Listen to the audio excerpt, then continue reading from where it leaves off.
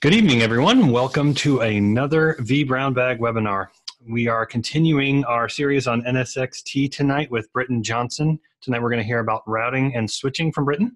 But before we do, a few housekeeping notes. If I can advance the slide, there we go. Uh, remember, please, that this is a social show. If you're watching us live, you can use the QA box in Zoom or you can interact with us using the hashtag vBrownBag on Twitter, and we will be monitoring your questions and passing them to Britton as long as they aren't too snarky. A little snark is okay though. Um, we have other shows as well, so be sure to check them at the times and dates listed you see here on the right as well. And if you missed uh, the previous episode that kicked off this series or any of our other previous recordings, check out the vBrownBag YouTube channel. Uh, I'm your host, Ken Nalbone, and with us again tonight is Britton Johnson. I'm going to hand it over to you now, Britton. Say hello to the people while I give you control. Howdy, howdy, everyone. All right. Let me attempt to share. Go for it. And let's start this. All right. All right. I have too many screens. My notes are on the wrong screen. I see the slide that says NSXT switching and routing, so All right. it's good from So- our view. All right. Welcome, everybody, to episode number two out of the series of four that we're doing on NSXT. Um, and again, most of this will be centered around NSXT version 2.5 slash 2.4 or somewhere in there, primarily because the 2.4 is the base version that the current VCP NV 2020 exam is all about. So if you're using this time right now, to study for the VCP NV 2020 um, content should be very relevant for that particular exam. Um, yes, it is true that NSXT 3.0 is coming very soon, but this today is still very valid information.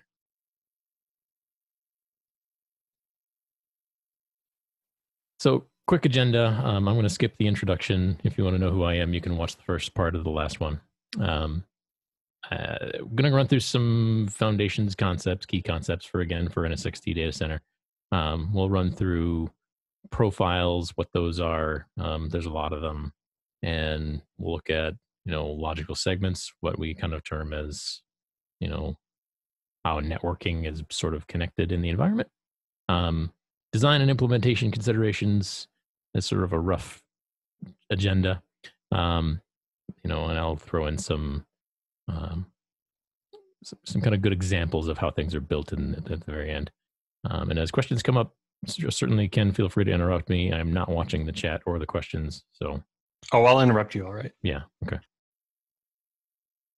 So, uh, secondarily, agenda part of this is resources. Um, the most important thing um, while going through this is, you know, a lot of the stuff that I'm going through, and a lot of stuff that you know anybody, you know, anybody wants to learn anything about NSX, or even you know, if you're a customer who's using NSX in production, um, always keep a current copy of the NSXT reference design guide happy or and well keep it happy yes that will keep you happy keep it you know available um the and again highlighted on this slide it's this this design guide 2.0 um that is not to be intentionally confusing it's the guide version number so the version of the book um the software version is for 2.5 the book version is for 2.0 um, that is the current release so if you have questions about any of this stuff, um, this is your Bible and this is the where you go to get answers. So check that out. Uh, other thing I like to highlight: if you are a partner of VMware, if you work for a partner, um, you know, like Ken at, at Ahead, um, if, if you work for a partner and you are interested in deep dive advanced training for partners, um, check out Livefire Solutions. This is a division of VMware that does speci- specialized training um, on all of our products. Um, they do spe- specifically also some stuff on NSXT. They are branching out into some virtual classes. They have a really good one out there right now for um, NSXT and Kubernetes. Um, you can check that out. Um, but Livefire, the Livefire team in general, they're a global team of, of solution architects and trainers, and they do an amazing job of producing a lot of things. And I want to give them a shout out of how awesome they are because I borrowed a lot of the content for today from them. So kudos to the Livefire team. Um, last, hands-on labs. Uh, we always talk about this, of course, at VMware. Hands-on labs are, you know, crucial product learning tool for what we're trying to do to educate customers um, around NSXT and and the like. Um, and also, I want to um, just pop out of my deck quickly here because um, as I kind of explained this to, to Ken before we started this, but today with with the how we have to kind of talk through routing and switching, there's not really a super lot of great ways to demonstrate a lot of that. Um, the one thing I will suggest though is if you go into the hands-on labs and start this up, you can even do it while you're listening to me chat about this stuff. Um, it might, might kind of give you a good um, baseline um, of how things and, cement some of these concepts and give you a place to work through how this works. Um, if you start up this hands-on labs 2026 um, and go through module three, logical routing, and even some of the you know module two for you know logical switching, you know that will talk you through kind of the basics of creating some of these stuffs, and it'll step you through the process of what it looks like. Um, you know, it's it's a very good lab. You know, these just these couple of things to run through really don't take that long to run through. And and and quite frankly i think it's one of the better ways to get yourself you know knee deep in the product and see how it works. So um, if you're bored listening watching to me you know log into the lab and take a look at that. But uh, that's my other piece of advice to take a look at here. All right jump back here. Okay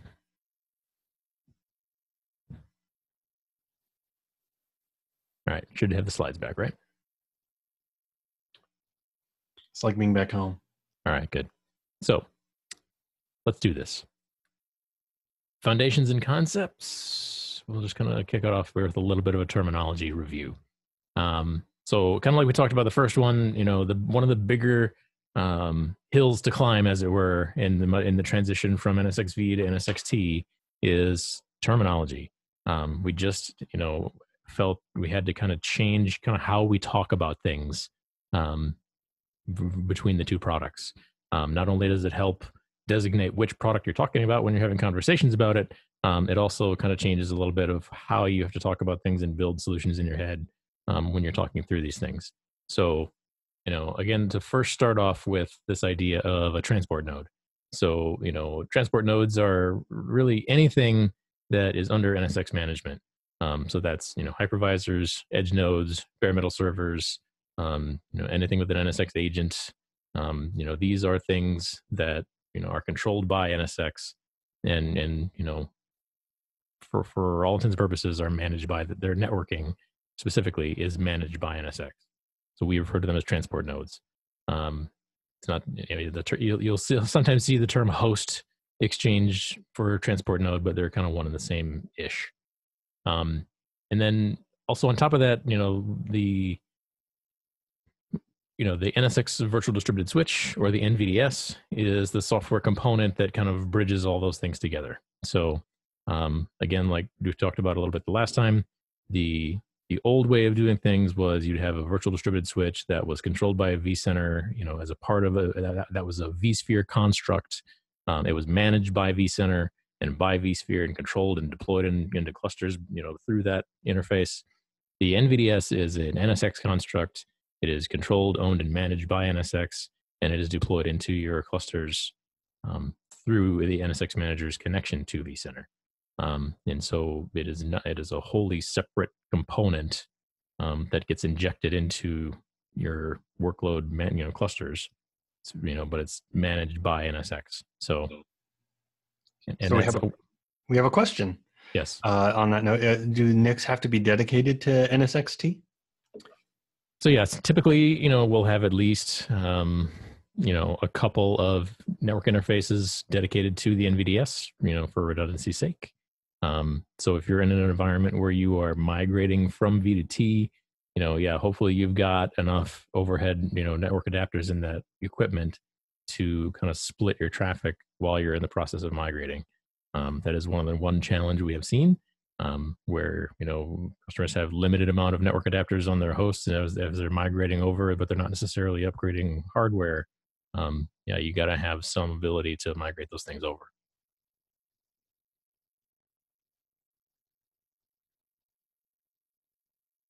And then, you know, kind of as the last bullet shows here, you know, the NVDS name is assigned, you know, to that uh, for, you know, grouping and management. And, and one of the uh, good, good clues there is as you're documenting things out is in, include those NVDS names in your documentation. Okay. So then we have transport zones. So, you know, the transport zone defines the span of a logical network. Um, you know, we could have you know, I mean, we can have two different types of transport zones in NSXT. Um, you know, NSX for vSphere, we had transport zones, but they were kind of, you know, w- you know, just a thing in software that, you know, he said, you know, these two clusters are on the same transport zone. They can talk to each other, but a third cluster that's not a member of that same transport zone can't talk to it. So this is a little bit different where we have we have kind of that same methodology, except now we can do things with a straight a straight up transport zone overlay, or we can do it as a you know VLAN backed, um, which kind of allows you know some layer two connectivity to physical networks and things of that nature. Um, the, the the the choice of you know whether to go full overlay or VLAN backed ultimately is dependent upon your physical underlay network and what you're doing with that. Um, there are cases where um, some some organizations don't like the idea of having a straight overlay network, and so they want to rely on the underlying um, physical fabric to be able to to provide that you know underlying connectivity via you know existing VLANs. So that's where we just you know rely on that. The advantage is when you do straight overlay, you want to create more networks, you just create them. Um, if you're doing VLAN backed, you can create them, but then you also have to create the associated VLANs on the physical fabric. So it's a little bit of an extra step to do the VLAN backside. While you're pausing, we have a question relating back to the previous talk about the switching. Um, Mama wants to know, or he says, I assume we can have management, vMotion, and vSAN traffic can be on a VDS. Correct. Um, we actually do have support, supported models for migrating that those particular traffic um, flows into NVDS back networks. So it, it is part of our design philosophy where um, if you have, especially if you have limited, you know, physical adapters on a host, um, you know, we can move those VM kernel adapters uh, into logical switches that are NVDS backed. So we can do vSAN traffic and things like that, and you know, vMotion traffic and things like that um, over the NVDS back network. So vSphere VDS, NVDS, t- take your pick. Yeah, just depends on. Like it's the standard engineering answer. It depends.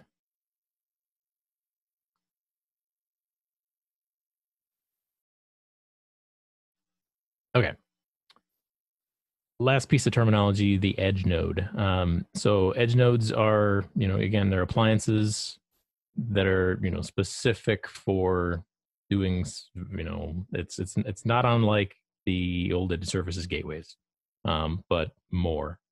So you know they they give you specific pools of capacity and you know and uh, the the way that I kind of talk about this is you know if you're if you're doing um, additional services, you know, like um, edge firewalling, load balancing, VPN services, those kinds of things. Those are where the edge nodes come into play. And, and those kind of services are what the edge nodes ultimately are about. And we'll get deeper into that here in a bit.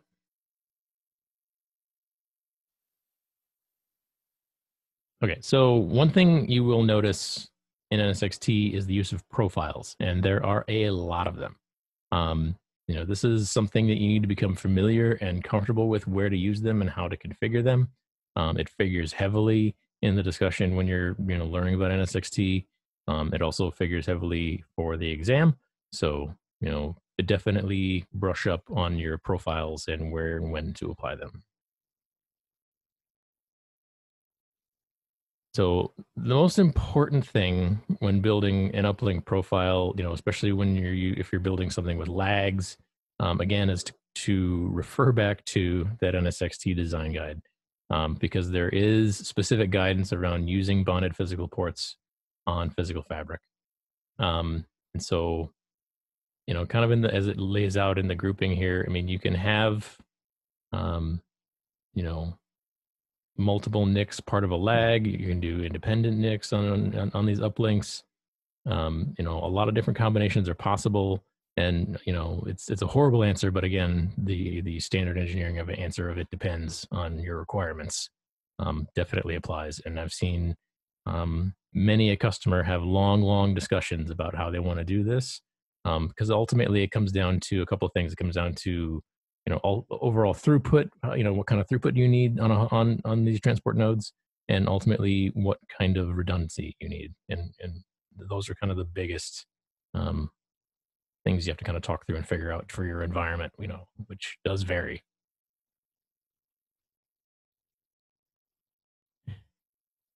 So teaming policies um, they define how the nvds uses its uplink for redundancy and traffic load balancing uh, teaming policies apply to uplinks and you know and like, like it shows here there's really nothing to do with as physical nicks or lags. You know the teaming policy kind of you know shows you know how uh, traffic is going to flow out you know uh, from workload to workload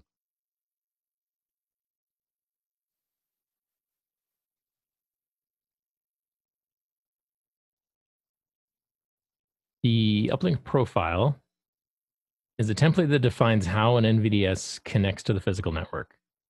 The uplink profile is applied to a transport node when it joins the transport zone. Um, so we, you know, again, we specify, you know, if, if lags are involved or individual ports, the teaming policy that we just talked about, you know, the MTU of the NICs as well as, you know, overlay connectivity.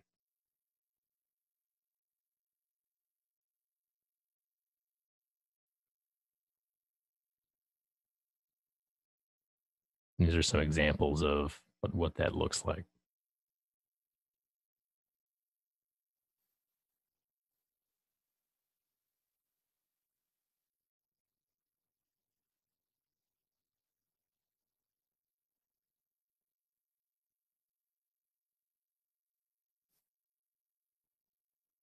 and again you know the the uplink profile you know you kind of have to match most of what that is going to look like per host in some cases. Um, you know, if you have matching hosts, you know, then you can create one uplink profile that that is a blanket profile for you know all just your ESXi nodes.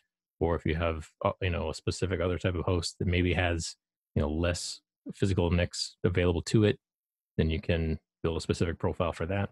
This is where you know when you're designing out your your backend infrastructure part of NSXT, um, knowing what kind of equipment you have is really crucial so that you can make the profiles and, and tune them properly so that things you know you don't have problems later on. This is some of the the ground ground wall foundation stuff that you're doing when you're building up these profiles.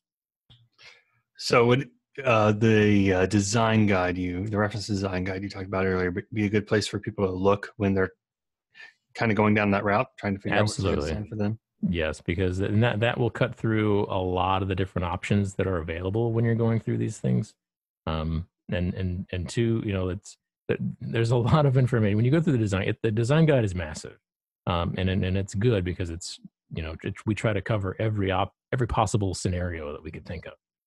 Um, so you know the the design guide, you know, when in all when in doubt, go back to the design guide because that is where we're going to default our, our response to most most of the time.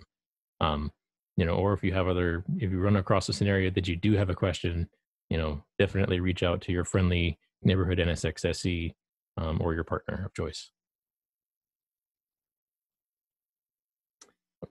So tunnel endpoints, we kind of talked about this in the last one a little bit. Um, this is uh, back in the NSX for vSphere days, this is what we called uh, the VTEP or the VXLAN tunnel endpoint. Uh, we've we've dropped the V and it's just now called a TEP. Um, TEPs are used for the interconnecting of the transport nodes and building the transport network. Um, you know, so this is how each host or each hypervisor host um, communicates one to the next. This is how we build the overlay. Um, you know, the, if you if you were looking at the physical, if you know, if you were sniffing the physical IP traffic um, between hosts, you know, you'd see these TEP IP addresses at the front of the head, at the front of the line. Um, but we don't hide anything inside of the overlays. So even if you did, you know, you know, grab all that traffic, you you even could could see the, the Geneve overlay packets as well. Um, so IP assignment, you know, needs to be designed defined during transport node creation. Um, you know, so there's a couple of different ways you can do that. Um, IP subnet capacity planning here is critical. Um, I have seen many a customer, even on back in the vSphere days, um, under provision their TEP networks, you know, only to cause major capacity issues down the road.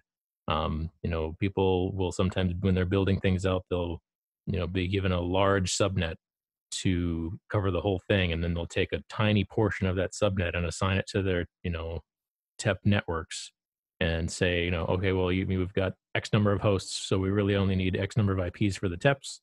And then they don't consider that, okay, you know, a year from now, we're going to double in size and we're going to need way more than that. And then what kind of, you know, issues that might cause down the road. And, and generally speaking, you know, these, these TEP networks, you know, they don't talk to anything but their neighbor.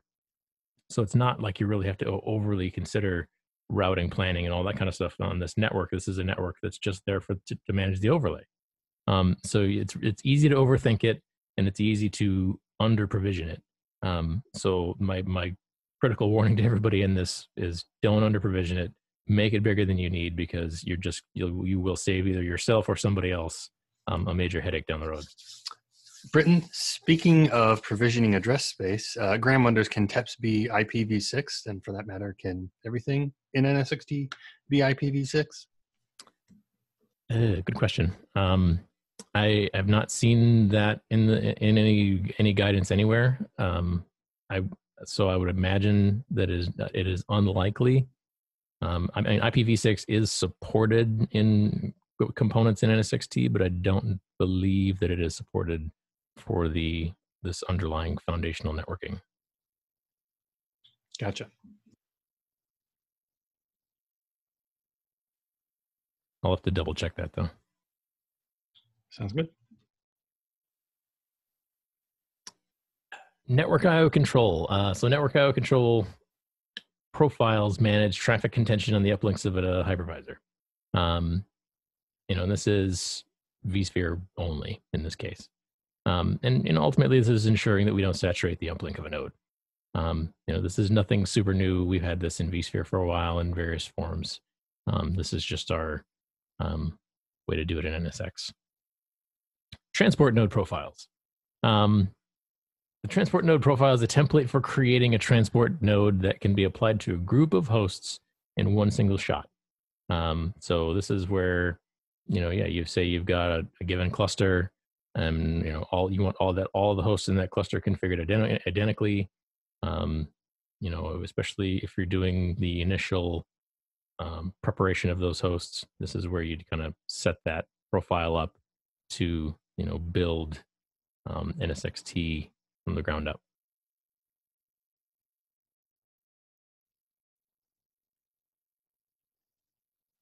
So kind of putting things together you know when you're layering all this stuff in you know we we have a, you know we create a VLAN transport zone. We create the the overlay transport zone you know and name it the same you know to kind of follow things through. Define the uplink profile for ESXi define it for KVM if you're using KVM um, add hosts to the transport zones and attach the uplink profile. Assign your physical NICs to the uplinks and the result is you have hosts using you know the same logical switches transport nodes are connected to you know different transport VLANs and it's using different uplink configurations. And this is all in this in this example it's across you know two different hypervisors but they get the same capabilities. And we all lived in harmony. Right. So that's sort of the underlying how things work between hosts, connecting those together. Um, next is our logical segments. Cruising right along. So the the logical segments piece of this, um, you know, we used to call them logical switches, and again, this is our terminology update. Now we call them refer to them as segments because um, it's not really a switch; it's software, so we call it a segment. Um, and this is kind of an example packet flow um, of how a logical segment works. So we do a lookup for a MAC address. Um, you know, if it's a hit, the frame gets encapsulated. You know, it sends unicast to the remote TEP, and if you know if we don't find it, then the frame's just going to flood the network looking for that other you know response.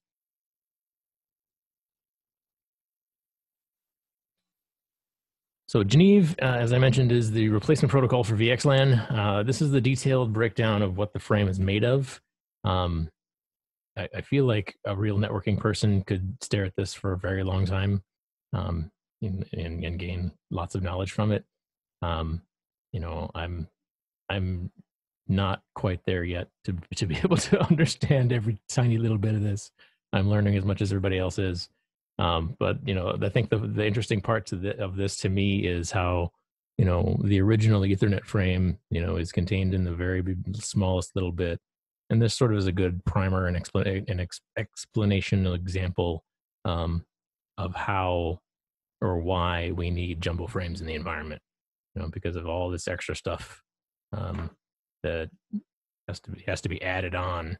Um, you know, to get our TEP information in there um, getting this, you know, the source port, destination port, you know, and all of these various aspects that make up the total, you know, Geneve encapsulated frame that makes up our overlay network and makes it happen.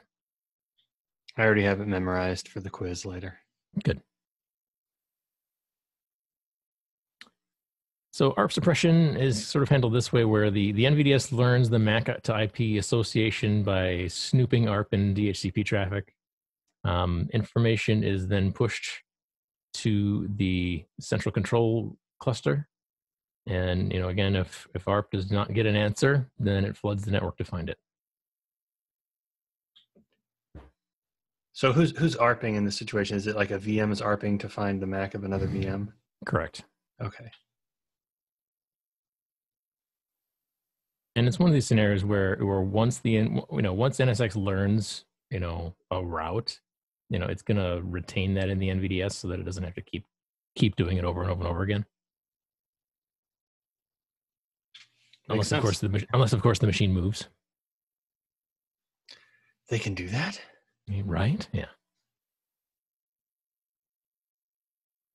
Segment profiles.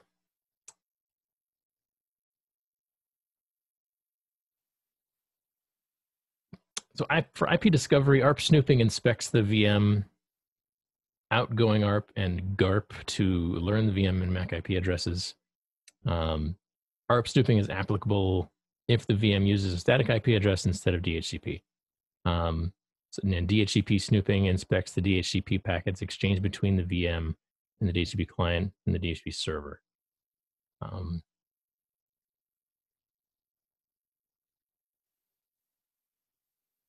So the segment security part, I'll have to look at you know that a little bit further as we get into our uh, security session uh, next time on the vBrownBag.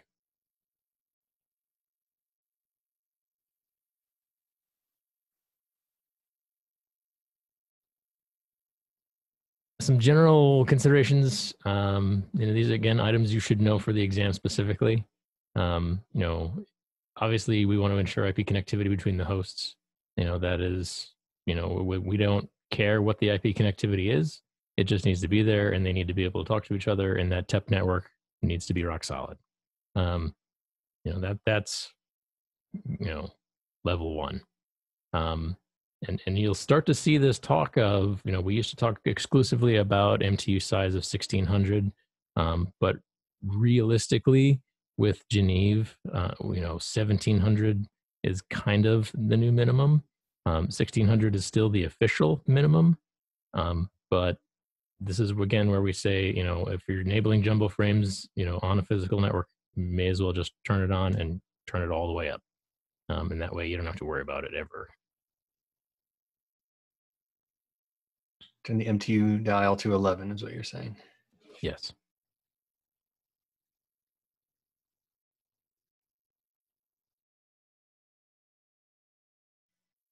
Okay.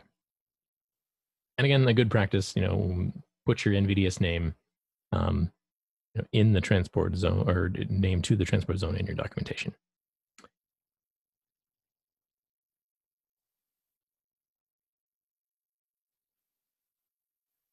All right, logical routing.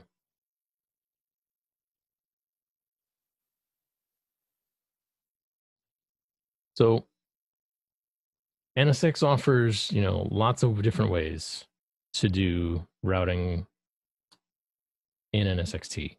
Um, you know, you'll you'll see a lot of talk about single tier topologies where uh, workloads are connected to a, uh, a tier zero or a T zero router, and that T zero logical router is connected to a northbound infrastructure.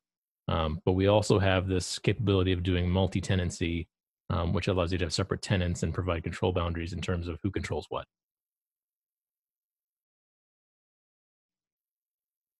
So let's look at that.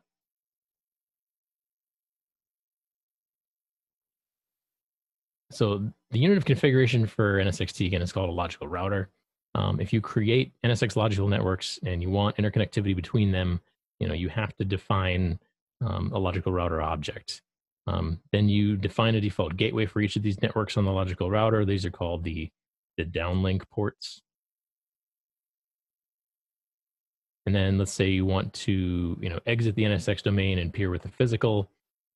You know, the logical router is also capable of static and dynamic routing for north-south connectivity to the outside world.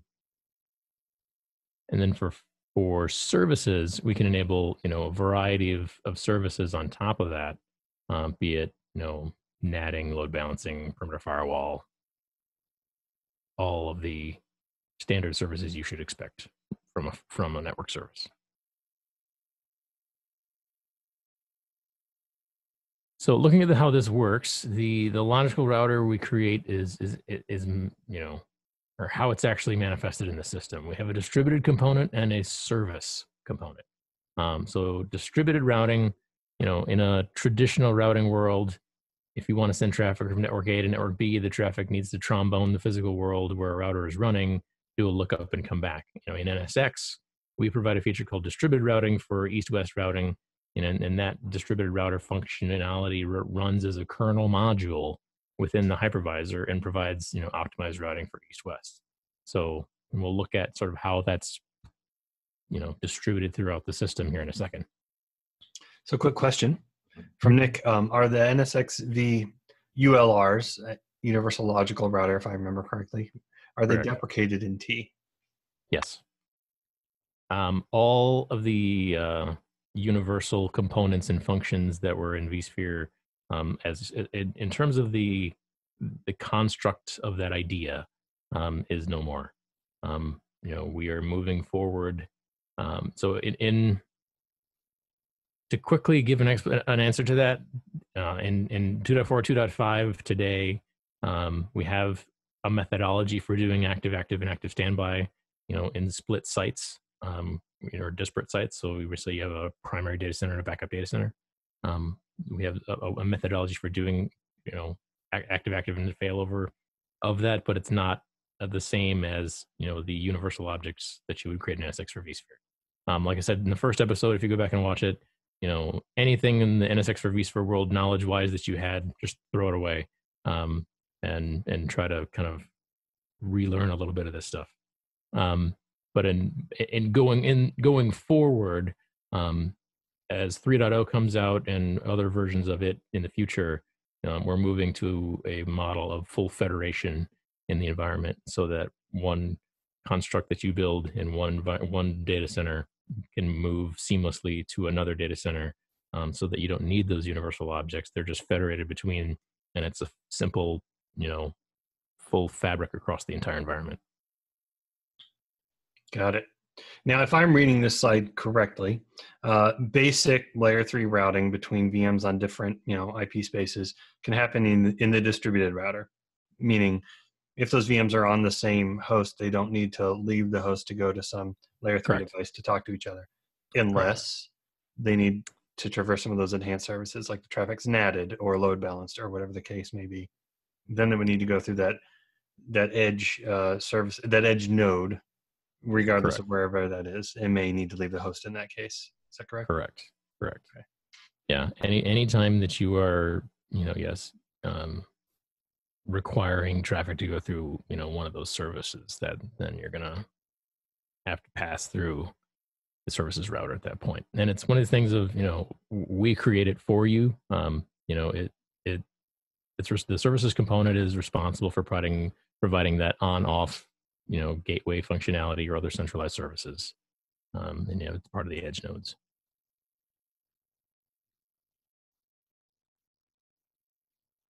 So how do we do this? Um, here, this is a, a combo view of you know the the user interface and then how we actually um, would build this out in a model. Um, so here is you know connecting the logical switches into the tier zero. We push then that distributed router down to the hypervisors so that it's fully distributed to all of them, and it you know creates this the same construct on each host.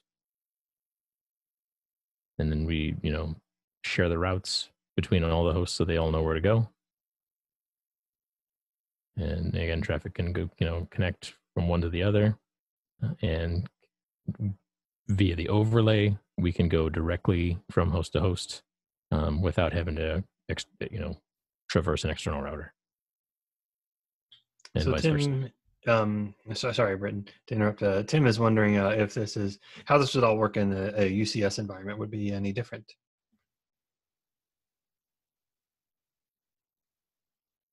guess i'm not sure what he means by that That's a good question, uh, Tim. If you want to maybe clarify that, I'll send it Britton's way. yeah we'll, we'll take that offline later ucs can mean many things Cisco UCS. Sorry. What- yeah, but but, you know, yeah. sure. still can mean many things. Could be, you know, hypervisor UCS, switch UCS. So logical router service component, the services router. Um, the main thing to note here is we will automatically create the services router when any of these services are turned on. So, um, you know, again, for north-south connectivity, you know, we need to define an uplink on the logical router, um, and you know, turn on connectivity for that. For for north-south routing, we have a services component which is not necessarily distributed to all hypervisors. Um, you know, the services component again acts as that on-off gateway, and that's where, yeah, where as we just talked about, you know, if it needs to traverse that, then it's going to have to go through a specific host to get there.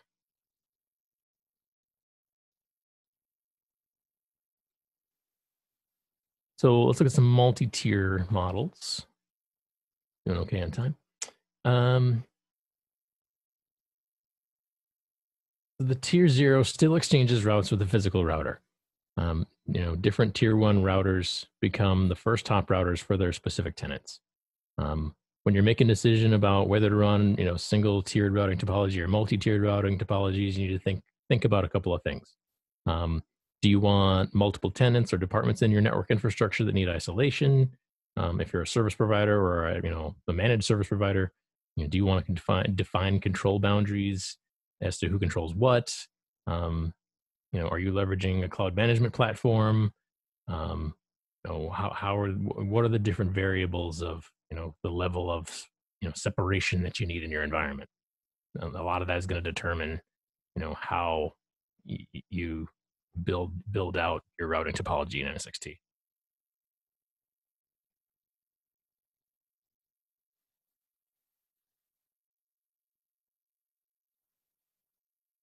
Uh, so another question that came in, um, Mithun wants to know, is it, Mithun wants to know if you can use tiers for PCI or HIPAA separation.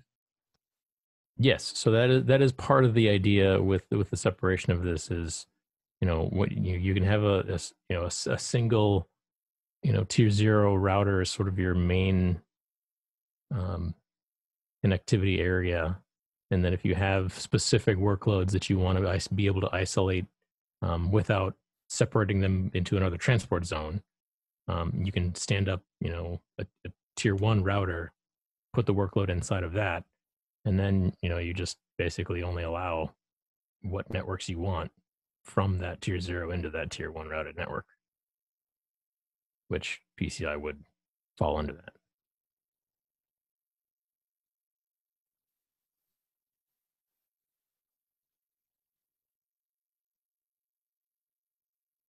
And this is just an example again of the fully distributed architecture, you know, showing how we do, you know, all this routing up front so that we don't have to um, do it at the source or trombone outside of it.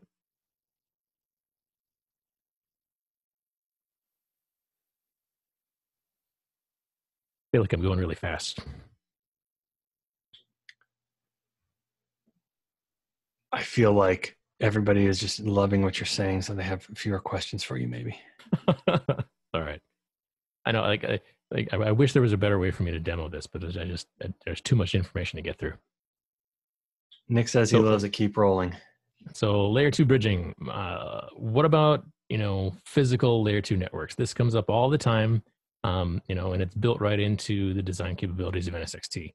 Um, you know, this is probably um, if it's not the number two question it's you know the number three question. You know the first question i usually get is how how people do microsegmentation and you know firewalling and security.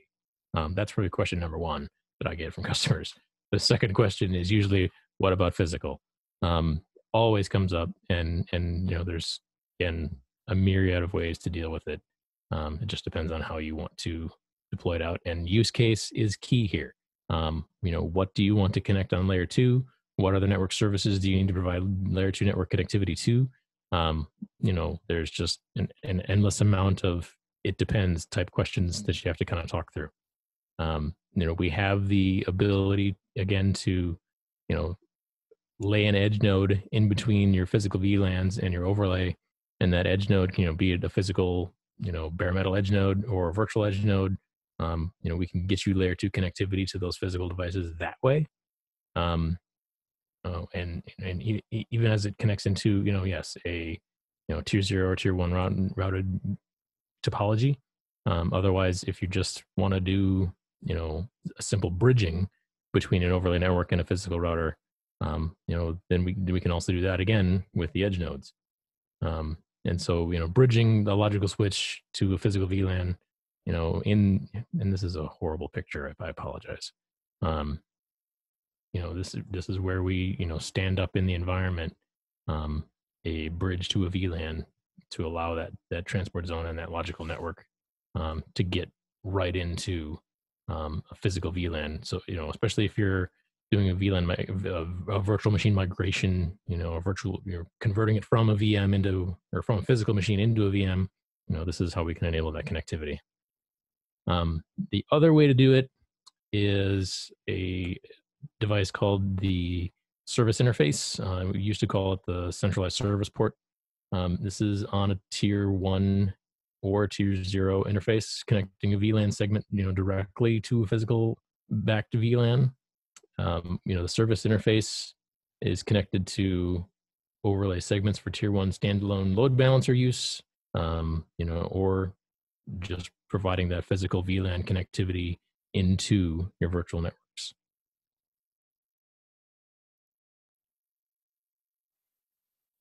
and again in this in this sort of scenario too you know if you want to you know move those network gateways you know from that physical VLAN into an NSX backed network this is another way you can do that which then allows you to apply to allows you to apply some security policies into your physical environment.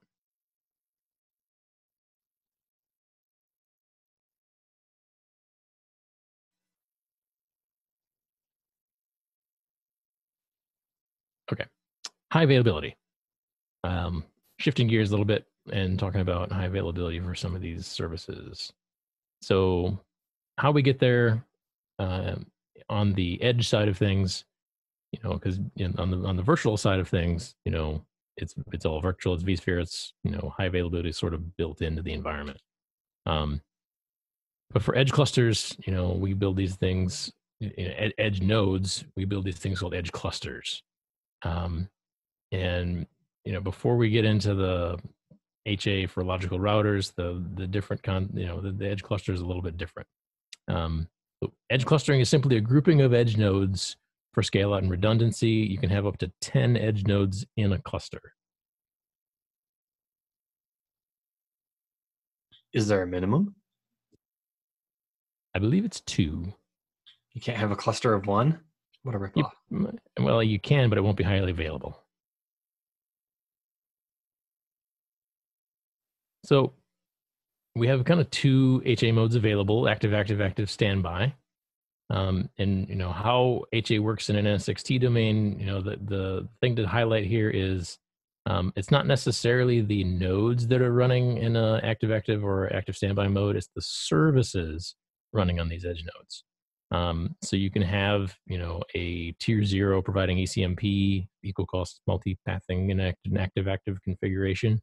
Um, and stateful service running an active standby on the same edge node pair.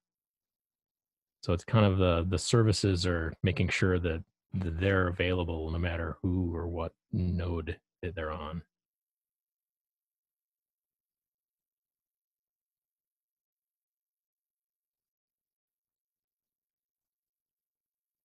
So coming back to these, you know, other HA modes, um, active active again gives you the ECMP and scale out um, and you can run stateless stateless services.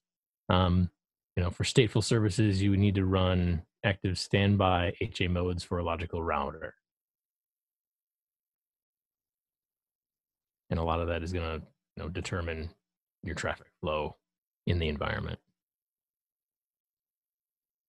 So if, you're, so if you're in standby, it's truly in standby waiting for that other one to fail before traffic is going to move over to it.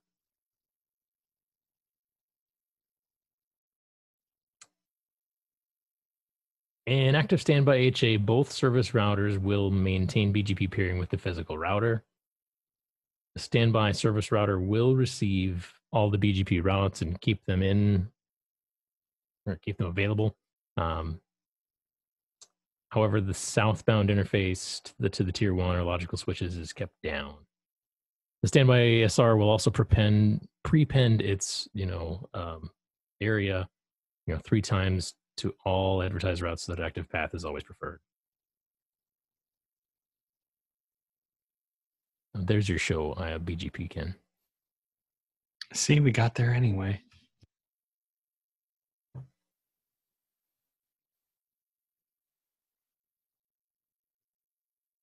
Edge node architecture.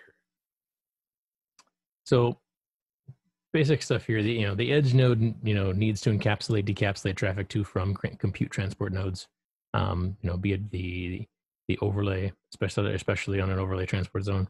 Um, the edge node also needs to send and receive traffic to from physical infrastructure. You know, uh, like uh, if, it, if we're talking about VLAN transport zones. Um, and the uplink profile applied to the transport node again when it joins the transport zone.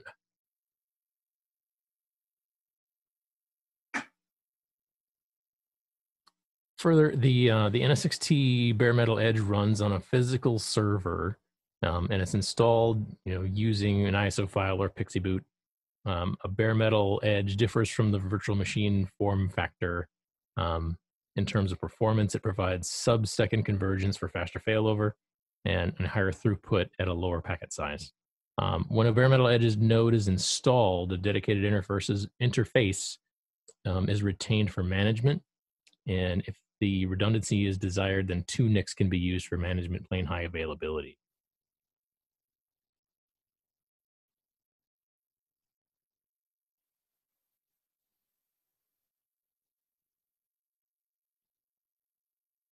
So when a bare metal edge node is installed, uh, a dedicated interface is retained for management if redundancy is desired.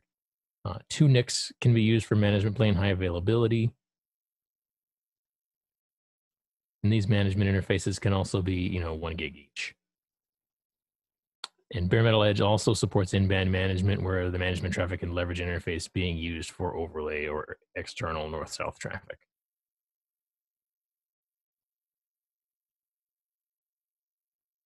So in a multi-NIC NVDS per edge design, um, as commonly called, this is what we refer to as like the three the three NVDS per edge, um, where you have multiple NVDSs.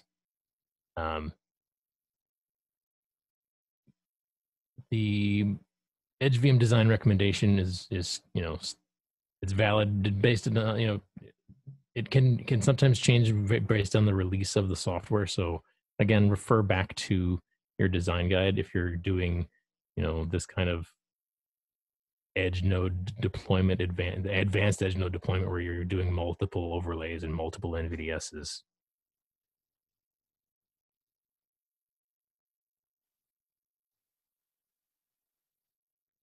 Then we have the option of doing a, you know a single NVDS overlay and external NVDS, uh, where they're converged into you know a single NVDS, and this this carries both the overlay and external traffic. However, different uplinks are used to carry overlay and external traffic. Um, multi-tap is configured to provide load balancing for the overlay traffic on uplink one and uplink two. Um, and notice that the, you know, the TEP IPs use the same transport VLAN.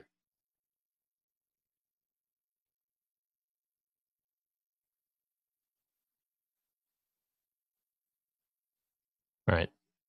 So wrapping up here um, with some topologies that you can build out with NSXT. So first we have, you know, a typical enterprise topology. This is a single tier topology with, with distributed east-west traffic and high throughput eight way ECMP for north south traffic. Um, you know, you have distributed, oh, went too far. You have distributed firewall for east west traffic. And if there you know are some non virtualized services, your servers, they can be connected to virtual networks, um, you know, via the, the logical segment bridge via layer three or L2 if connector, you know, if yeah, if L2 connectivity is required, then you do the bridge. Getting ahead of myself there.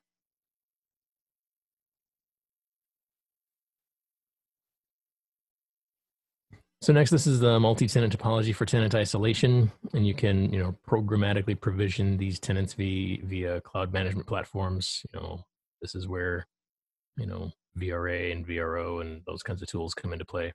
Um, and you know, I I even have customers who deploy these things um, via a fully via API, um, as we kind of covered in back in the first first episode.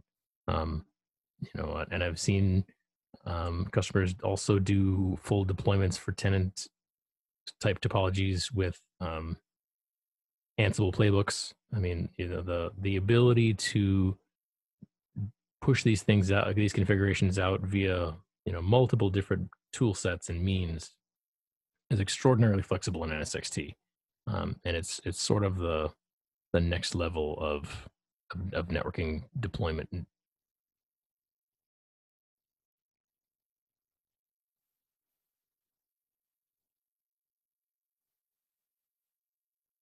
then we have, you know, strict isolation with a tier zero. So we have, you know,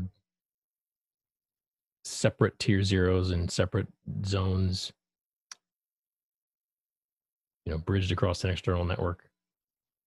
I mean, these things can get, you know, quite advanced very quickly. And, and, you know, anybody who's, who's running through this stuff again, this is where your design guide comes in handy because it'll tell you if you're doing something wrong.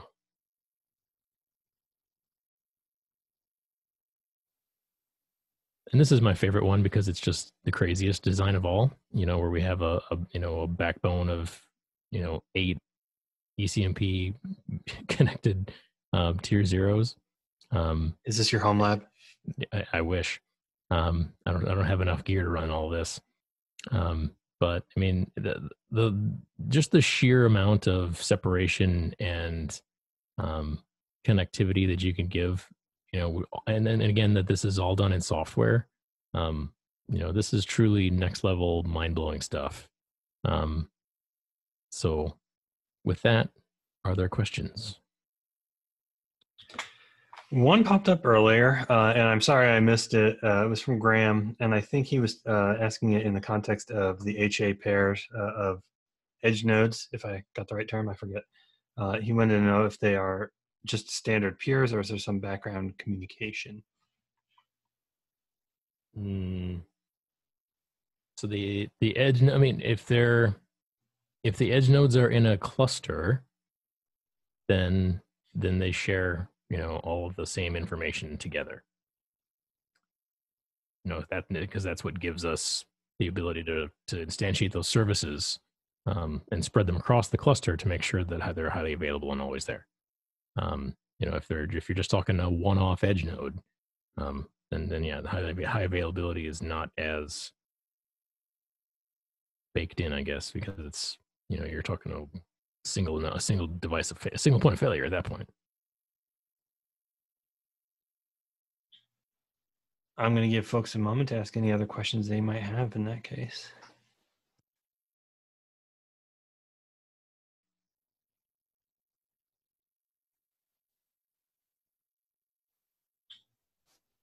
And for folks who didn't get a chance to get any question in today, uh, don't forget you can reach out to Britton on Twitter. He's at VCXNV.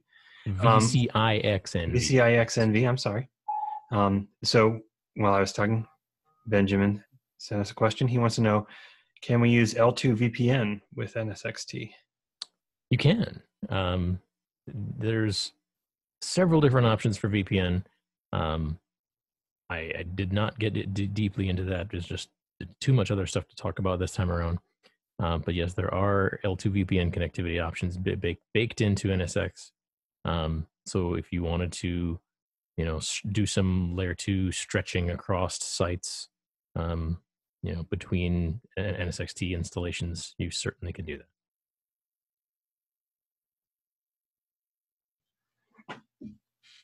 Very cool. I'm going to pause for just a moment to make sure no uh, more questions come in. But in the meantime, I want to remind folks to keep an eye on uh, YouTube. This will be up shortly. If you you know tuned in late, you can catch the beginning of it there. Uh, Britton, thank you very much for joining us again for the series, mm-hmm. and thank you for continuing to do it for an, another couple episodes. Britton will be back with us in two weeks, but we will have another uh, episode about VRNI with uh, Matt just next week, folks. So yes, highly, highly recommend that one. Yeah, absolutely. So tune in then. Um, getting lots, no more questions coming in right now, Britton. Just a lot of folks saying thanks. So we will see you next time and enjoy your night. I'm going to hit stop recording now.